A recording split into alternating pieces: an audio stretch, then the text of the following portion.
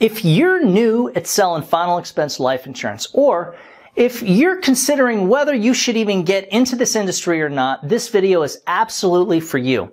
Final expense sales is one of the most lucrative industries in our nation for the right person. Now, for the wrong person, it can be a complete waste of time and money and will simply end up being that next step to the next big thing that also ends up being nothing. All of this and more coming right up, so stick around.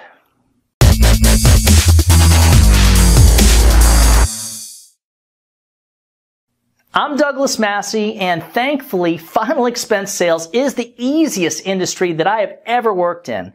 It's one of the few businesses where you can just literally go down the street door to door and make a six figure income while selling to people off of a list of names. Since most people are just incapable of being a professional salesperson, the last thing that they're going to do is start knocking on doors.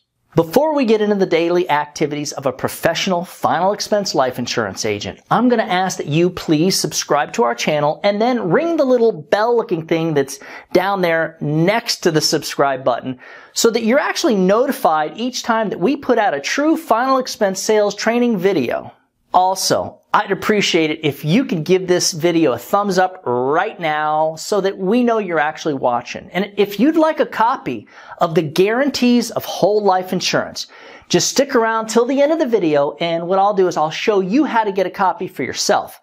You're going to want to laminate this and use it during all of your presentations as it's just a really awesome way to show your clients exactly what you're selling compared to all that stuff that they're getting in the mail and the stuff that they're seeing on TV. The hardest way to sell final expense is through cold canvassing.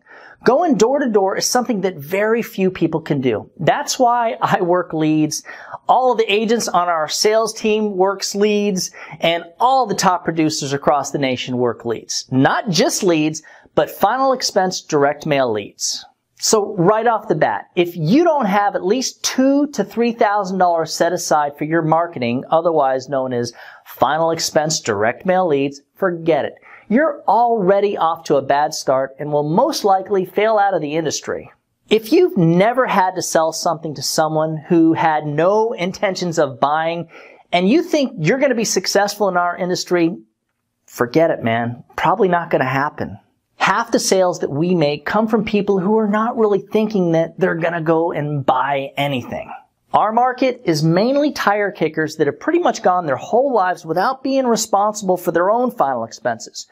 You'll have to work really hard and make lots and lots of presentations just to develop the skill set that a talented sales professional has. Once you've developed this skill set that I'm talking about and are good at building rapport, overcoming objections, and closing sales, you can start to reap the rewards, the financial rewards of final expense sales.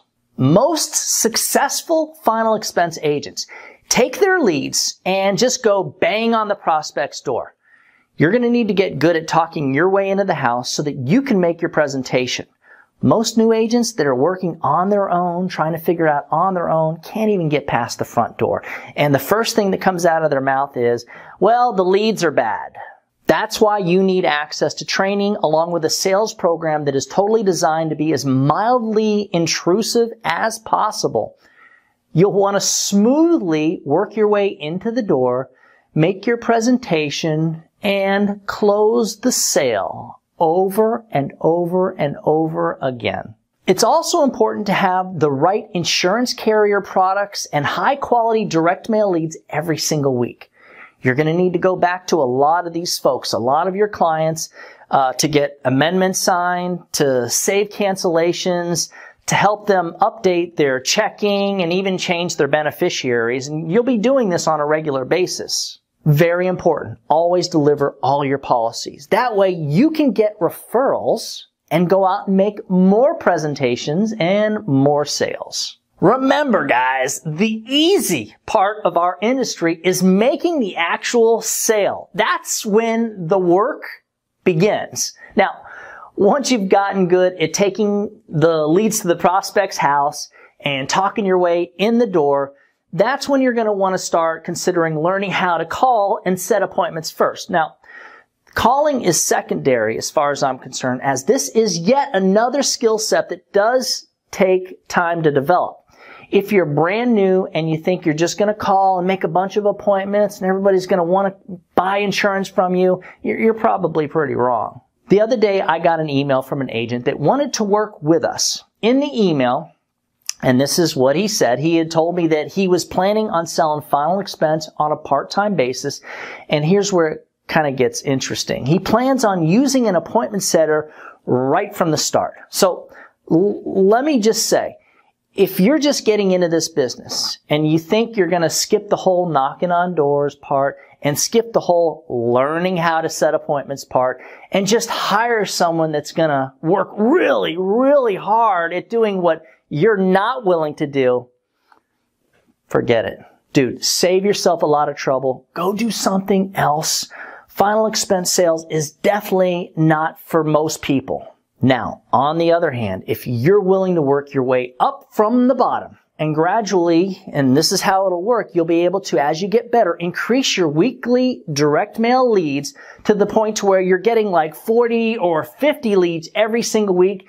Then using an appointment setter to help you call the leads makes absolute sense. Just remember, an appointment setter will only dial through the leads maybe a few times a day, and what they're really good at is picking up those low-hanging fruit. So, if they're calling through the leads and you're calling the leads, working together as a team, you can literally go out a few days each week to your appointments, knock on doors in between appointments because not everybody's going to take the appointments and a lot of those people that don't take the appointments are going to end up being really good sales and you can actually make 10 plus sales every single week.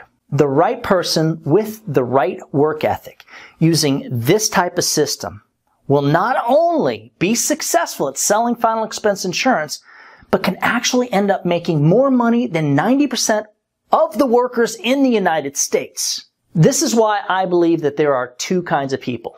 Sales professionals and people who are not sales professionals.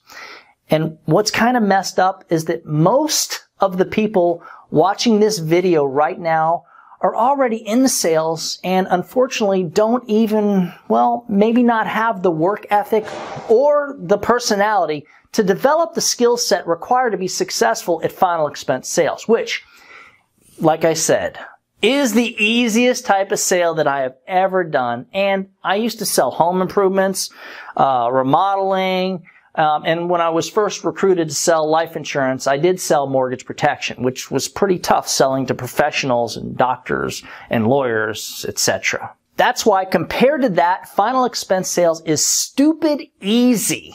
And compared to just about anything else that's out there that you can sell, it's pretty simple too. For a copy of the guarantees of whole life insurance or for more information on joining our final expense sales team, just shoot me an email at doug at ufesonline.com. Remember, when you put the needs of your clients first, everything else will usually fall right into place. Now, get out there and go do something good for someone today. Happy hunting.